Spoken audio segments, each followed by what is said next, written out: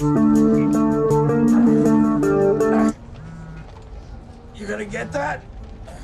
No! You probably ought to get that. It could be important. No! Okay, maybe it's important. Fuck, you know. Come in. Oh. Yeah, what you want? I I just want you to tear me apart. I really do. X. Okay, yeah, I can make it, but uh, Lemoney's a little tied up right now. Um, are you wearing any underwear?